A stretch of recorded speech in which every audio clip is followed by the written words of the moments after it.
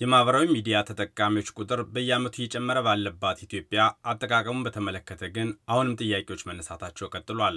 በተለይም በማህበራዊ ትስስር ገጾች ላይ በሚተላለፉ መልእክቶች ጾታን፣ ሃይማኖትን ወይም ማንነትን መሰረት ያደረጉ ጥቃቶች ስለመበራከታቸውም ተጠቃሚዎችና በዘርፉ ላይ የሚሰሩ ባለሙያዎች ይናገራሉ።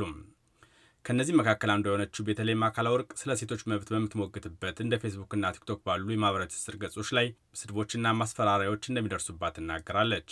የተለያዩ የደፍርሻለው፣ አስደፋብሻለው፣ ገልሻለው እንደዚህ አይነት ማስፈራሪያዎችን በመላክ አድራሻዎቻችንን በመላክ ከዛ ከቲክቶክ አልፎ ደግሞ የግል personal ስልካችን ላይ በመደወል ከኦንላይኑ አልፎ ወደ በአካል እየተከታተሉ የመኪና ታርጋችንን ፎቶ እያነሱ እዚህ ቦታ ትገኛለሽ፣ እዛ ቦታ ትገኛለሽ እያሉ እስከ መላክ የደረሱበት እና even though ገምተን ነው ብንመጣም ነው ግን እንደዚህ በጣም የሚያስፈራ situation ውስጥ እንገባለን ብለን አላሰብንም። እንደ ዳታ ሪፖርታል መረጃ እድሜያቸው ከአስራ ስምንት ዓመት በላይ የሆኑ ከሰባት ሚሊዮን በላይ ኢትዮጵያውያን መድረክ በሆኑት ማህበራዊ ሚዲያዎች ግጭት ቀስቃሽ የሆኑና ከማህበረሰቡ እሴት ጋር የሚጋጩ ይዘቶች በብዛት እየተላለፉበት መሆኑን የምትናገረው ደግሞ የሀቅ ማጣራት ባለሙያ እንዲሁም በማህበራዊ ሚዲያ አጠቃቀም ዙሪያ አማካሪ ሆና የምትሰራው ርሆቦት አያሌው ናት።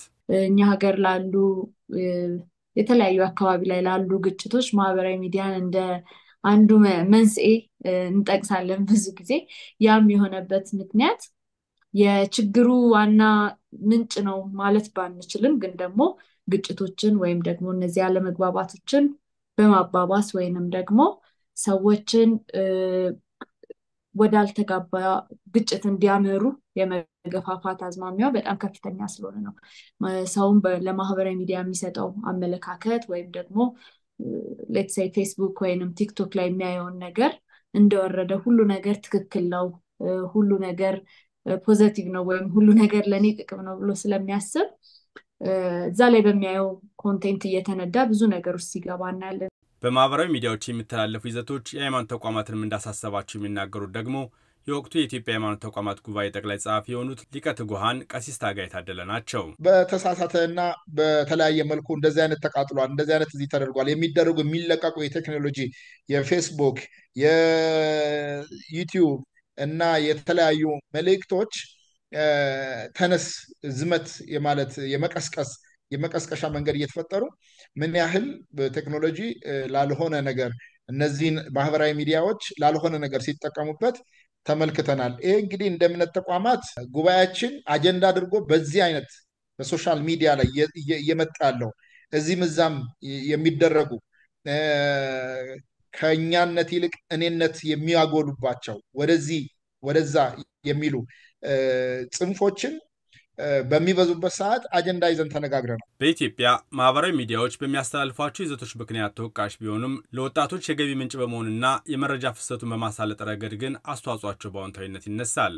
በማህበራዊ ሚዲያ አጠቃቀም ዙሪያ አማካሪ ሆና የምትሰራው ርሆቦት መተግበሪያዎቹ ተጠቃሚዎቻቸውን የሚያበረታቱባቸው መንገዶች በይዘት በኩል ለሚነሱባቸው ወቀሳዎች አንዱ ምክንያት ስለመሆኑም ታብራራለች። ያው platform ኡ creativity ይፈልጋል በጣም ተጽዕኖ ለመፍጠር ወይም ብዙዎች ጋር ተደራሽ ለመሆን ወጣ ያለ ለየት ያለ አቀራረብ ይዘህ መምጣት አለብህ ከሚለው እሳቤ አብዛኞቹ ውጭ ሀገር የተለመዱ ወይም በሌሎች በምዕራባውያን ምናምን የተለመዱትን trend የምንላቸውን ወይም ደግሞ በእነሱ የተለመዱትን ስራዎች ወደ እኛ context ወይም ከኛ ባህል ከኛ አስተሳሰብ ከኛ ደረጃ አንጻር በሚመጥን መልኩ ሳይመዘን እንደወረደ ይቀርባሉ ማለት ነው። ለችግሮቹ መስፋፋት ተጠቃሚዎችን ምክንያት ስለመሆናቸው ርሆቦት ትናገራለች።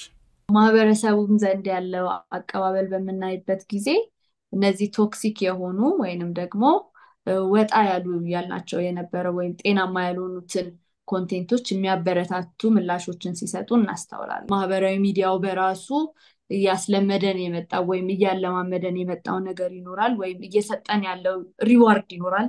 like የምንበለው share የምንበለው ይሄ influencer መባልም እንበለው at the same time ደግሞ ከተጠቃሚው አንጻር ደግሞ ሌላ ጊዜ ማለት የማልችለውን ሌላ ጊዜ መሳደብ የማልችለውን እዚህ ጋር ሳይታወቅብኝ መሳደብ እችላለሁ የሚለው ነፃነት አለ፣ የመናገር ነፃነቱ አለ። ሁለቱም አጠቃቀም ያለ ገደብ እና ያለ ያለ ስርዓት ያለ እውቀት ሲሆኑ ወይም ደግሞ የአጠቃቀም ክህሎታችንን ሳናሳድግ ሲኖር በዛ ክፍተት ውስጥ ብዙ ነገሮችን እናያለን ማለት ነው።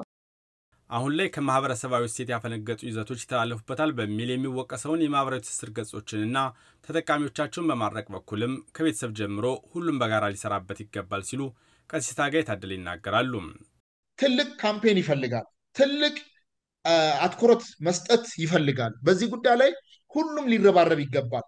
እኔ አጠቃላይ እኔ የልማት እቅድ የምትለው ሰዋዊ ልማት ሳይለማ ህብረተሰቡ ሳይለማ እውነቴን ነው። መሬት ላይ የምናለማው ነገር ነገ company ሲያቃጥል ከሶስት ዓመት በፊት እኮ አይተናል። company እያቃጠለ የመጣ መንገድ እየዘጋ የመጣ ትውልድ። ስለዚህ ያልተሰራ ጭንቅላት ሁሌ አፍራሽ ነው። ያልተገነባ ትውልድ ሁል ጊዜም አጥፊ ነው።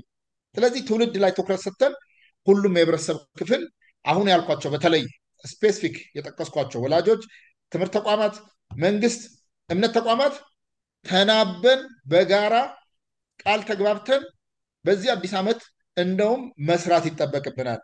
We Are Social የተሰኘው ድረገጽ ባወጣው የ2024 ሪፖርቱ በዚህ ዓመት የአዳዲስ የማህበራዊ ሚዲያ ተጠቃሚዎች ቁጥር በ5.6 በመቶ እድገት አሳይቷል ብሏል። ከአጠቃላይ 5 ቢሊዮን በላይ ተጠቃሚዎችም የሜታ ኩባንያ የሆኑት ፌስቡክና ኢንስታግራም በድምሩ ከ3.8 ቢሊዮን በላይ የሆነውን ዓለም አቀፍ ተጠቃሚ ቁጥር እንደያዙም ሪፖርቱ ገልጿል። ከአጠቃቀም ጋር ተያይዞ በሚነሱ ችግሮች ምክንያትም በአሁኑ ወቅት ተጠቃሚዎቹ እያደጉለት ያለውን ቲክቶክን ጨምሮ የተለያዩ መተግበሪያዎችን የማገድ ውሳኔዎችም በተለያዩ ሀገራት መተግበር ጀምረዋል። ለአሜሪካ ድምፅ አስማማየ ነው፣ ዋሽንግተን ዲሲ